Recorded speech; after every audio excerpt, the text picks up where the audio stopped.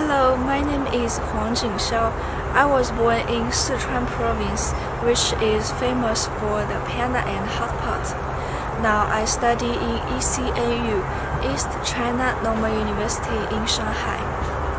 As for my personality, I think I'm sensitive enough to uh, know other people's feeling. If my friends feel sad or happy, I can detect it uh, immediately. Maybe that's the reason why I choose my major, psychology. Um, because of my sensitivity, I think I can get along with my uh, with children very well, and I care about the people around me much. Now I've learned some skills of shooting from our school TV station. In my spare time, I will shoot some short videos or news for our school TV station.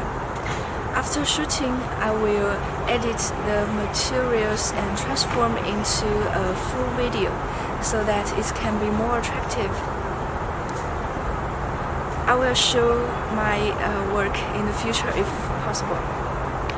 To attend this homestay program, I want to improve my ability to communicate with people in English Besides, I want to make friends with my host family. Mm, it's very lucky for me to have friends in the USA.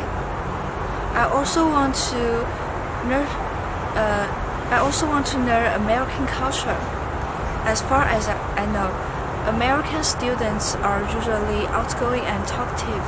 So in this environment, I think I can be more active than before.